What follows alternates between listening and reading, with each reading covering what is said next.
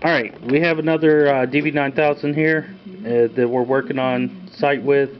And uh, what we're going to do is turn this one on. And uh, as you can tell, what it does is it turns right on, then turns right off. Now, most oftentimes, uh, this is a sign of the system actually having a MCP chip.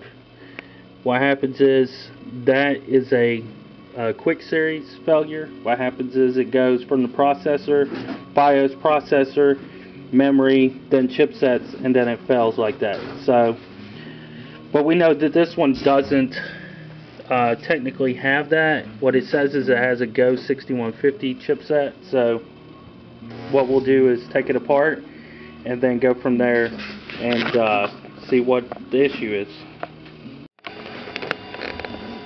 Alright, now we've confirmed that this uh, motherboard is uh, set to uh, be a Go 6150 so what we're about to do is just heat it up. Uh, very typical uh, secondary thing as we're sitting here thinking about it. This heat pipe on here is all copper. Uh, some of them are actually clad in copper.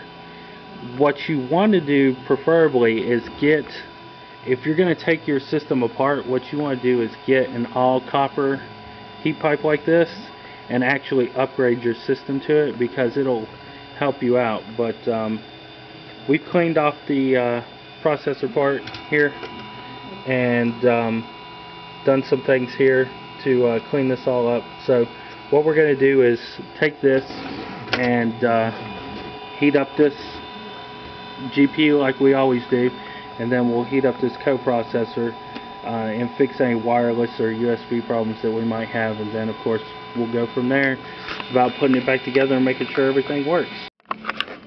Alright, so we're about to turn this uh, system on.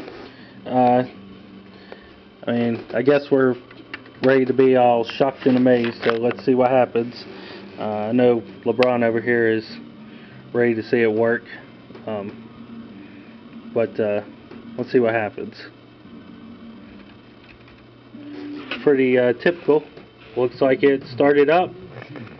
And we're going into the BIOS. So we got a BIOS screen. Everything started up perfectly fine.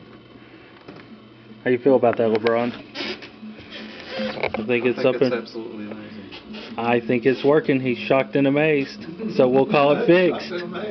Uh, we'll let it do its burn in for two hours and then uh, we'll go from there. Alright, we'll call this one fixed.